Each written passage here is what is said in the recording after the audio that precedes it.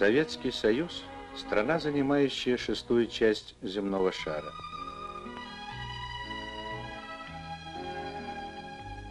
И все богатства страны, и те, что даны человеку природой, и те, что созданы им самим, принадлежат здесь всем и никому в отдельности.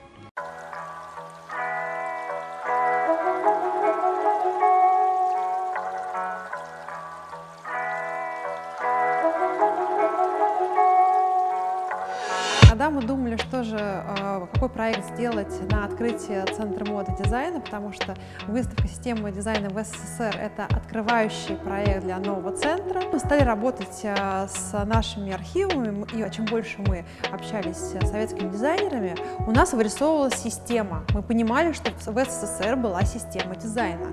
Это как бы очевидно для тех, кто работал в Советском Союзе. Но для нас, как для нового поколения, для нас это открытие Атлантиды. Специально для выставки а, были предоставлены архивом России сегодня, информационным агентством, фотоматериалов. Это, конечно, уникальные материалы, которые стали одним из основных экспонатов на выставке. Видеоматериалы а, мы нашли уникальные, которые никто раньше никогда не видел. Это кусочки а, тех новостей и телепередач, которые шли в Советском Союзе, но никто никогда вместе эту информацию не аккумулировал. В 1962 году был создан Институт мебели. Его художественным руководителем, главным дизайнером стал Юрий Случевский. В начале 60-х это хрущевская оттепель. А, и не только начинается огромнейшее такое вдруг международное сотрудничество, но и э, начинают строить э, пятиэтажки, хрущевки, социальное жилье.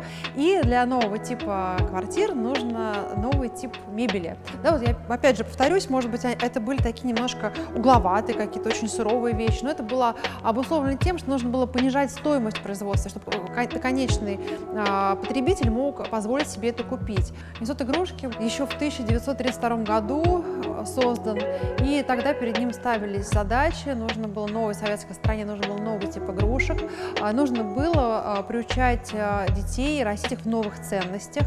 И вот в этом институте делали наборы кукол в разных национальных одеждах, очень много было игрушек красноармейцев или каких солдатиков делали, и приучали детей к труду с детства. И то, что представлено на выставке, это все, что осталось с института. Это действительно трагедия. Институт игрушки – это всего лишь одна из историй того, что случилось с архивами а, советского дизайна, а, собственно, что происходило в 90-е годы а, в нашей стране. И вот таких невозможно огромных медведей как раз делали в музее игрушки. Это как раз те самые нами любимые гены, чебурашка. Когда увидела эту чебурашку в а, музее игрушки, я просто в него влюбилась. Это, это что-то невероятное. То есть этот чебурашка даже лучше того чебурашку, которого помню я. Вот интересно происходила ситуация с художниками. У них была страна в стране. Вот отдельно Советский Союз, и отдельно, не входя в эту структуру, существовал Союз художников СССР. Это не коммерческая, не государственная организация, где собрались все творческие люди. Была своя организация коммерческая, на деньги которой жил и существовал Союз. Это художественный фонд. И художественный фонд работал на весь, на весь СССР, а, художники получали художественный фонд заказы. 25% они возвращали в художественный фонд. А художественного фонда были свои производства. Керамическое, текстильное, а, по работе с деревом. И это все распространялось на республику. В каждой республике был свой художественный фонд, и они выполняли заказы. Еще одна а, организация, институт художественной промышленности. Они занимались тем, что изучали и записывали, ездили в экспедиции, смотрели, что происходило с народными промыслами, а, изучали, что, как плели кружева, о том, как а, происходила роспись керамики, а, и смотрели на народные, народные традиции. И потом давали рекомендации заводам и фабрикам, как эти народные традиционные мотивы или техники можно применять к современному производству. Поэтому вот у нас на выставке такой очень модернистский стол по форме своей, но при этом он расписан под хохлому. А, вот сервис, который представлен на выставке, несмотря на вот его такие традиционные формы, да, как будто горшок, котелок, а, то, что, в принципе, раньше ставили в печь. Это сделано из такого материала, который можно разогревать, который можно ставить на газовую плиту. Всесоюзный научно-исследовательский институт технической эстетики эстетики, был тоже создан в 1962 году. И возглавлял э, этот институт Юрий Борисович э, Славьев. Это вообще уникальный человек, э, который смог создать целую систему. Э, систему в системе это была организация, которая возглавляла весь промышленный дизайн в СССР. У нее было 10 филиалов и 2 дизайн-центра. А проекты, которые были созданы во ВНИТ, никогда не были реализованы. Несмотря на то, что это разработка 80-х годов, вот у нас здесь есть а, блок а, клавиатуры, который отсоединяется от монитора, есть видеотелефон. Это такой проект умного дома о том, как будет компьютер, который, собственно, будет следить за всеми параметрами дома. Интересно было семинары международные, которые они проводили. И вот была тема семинара часы, и как раз там группа Азрикана разрабатывала, каким же будут часы будущего. И вот дизайнеры предположили, что часов как таковых не будет, что у нас больше не будет часов, потому что они будут не нужны, они будут в телевизоре, они будут в компьютере, они будут э, частью других девайсов. И, собственно, так оно и случилось. А, в Советском Союзе существовало несколько организаций, которые отвечали за моду.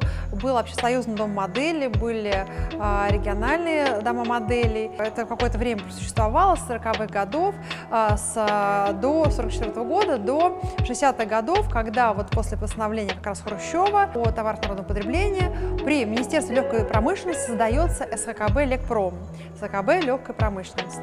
И его директором становится Алла Левашова, она модельер, которая много лет до этого работала в общесоюзном доме модели, но ее не устраивал там работа, потому что она хотела делать то, что будет производиться, она хотела видеть э, свой труд э, и свои модели на людях. Она говорила, что э, мода это не театр, где одни э, показывают, а другие смотрят. Мода должна выйти на улицу. И вот э, Алла Александровна Левашова придумала делать э, вещи по одной основе, потому что самое дорогое в производстве одежды – это конструкция, это работа конструктора. Тогда стали делать а, коллекции, например, в, этом сезоне, ну, условно говоря, а, будет прямоугольник, тренд, да, или треугольник. И дальше вот создавалась эта основа, а, а к ней могли быть разные воротники, рукава, могла основа удлиняться или укорачиваться – могла быть разная фурнитура, а, отделка и разный текстиль. И тогда получалось, что на одной основе получает, как бы это все уменьшает стоимость, а, производится масса вариантов, и они отшивались эти вещи. При Скабликпром было две фабрики экспериментальные, на них делались, делалась одежда 300 максимум, самый максимум 500 экземпляров. Еще интересная история, это тоже такое, а, мне кажется, супер идея Аллы Левашовой, это то, что СКБ заключила договор с компанией Dior, с модным домом Dior, и они закупали выкройки претапорте. И они на них учились, они, потому что антропометрия тела э, российских женщин не была не такой, как у французских женщин, и использовать их впрямую было невозможно. Но посмотреть, как сделаны детали, как, как разложены выкройки, какой текстиль применяли во Франции, потому что присылали вместе с каждой выкройки кусочки текстиля, это было очень важно. Отдельный раздел посвящен э, СХКБ, специальным художественно-конструкторским бюро и э, дизайн-службам на заводах, как это называлось раньше. Часто в 50-х годах после войны, когда не было профессии промышленного дизайнера, и нужно было как-то быстро наполнять э, после войны рынок э, товарами народного потребления, очень часто копировали образцы. И э, были ассортиментные кабинеты, привозили изделия из-за рубежа, раскручивали их на заводах, потом собирали заново. Получались совсем вещи, как на Западе, но все же похожие. Но а, вот именно с начала 60-х годов, когда появился НИТ, НИТ стал работать с нашими а, институтами, и СКК Белекпром тоже стал активно работать с институтом имени Косыгина, а тогда появились наши собственные разработки, и вот это время как раз считается началом дизайна, началом дизайна в СССР в том виде, в котором мы все его знаем. Приходите на выставку «Система дизайна», которая проходит в Центре моды дизайна «Делегатская 3».